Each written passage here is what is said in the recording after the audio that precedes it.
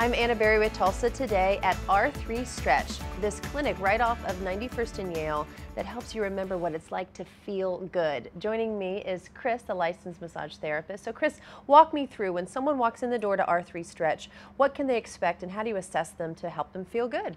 When someone comes into our clinic, we try to look at them as a whole person and not just the issue that brought them in in the first place.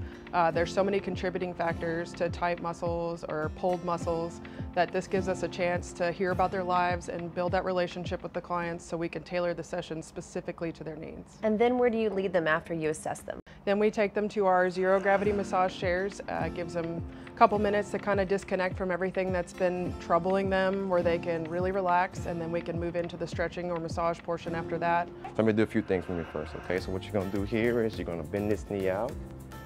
You're gonna pull it here, put your across, reach far as you can, swing it back down. Uh, get our hands on them, make recommendations, continue those conversations, uh, so that way they understand we're looking at them as a person and not just a problem. And then you have the option for cryotherapy or compression. Tell me about that. Yes, so the cryotherapy will help eradicate inflammation after we've stretched you out, help the recovery time cut down. Uh, the compression therapy is great for neuropathy or improved circulation. We have plenty of options to help anybody. How often would you suggest someone to come in here?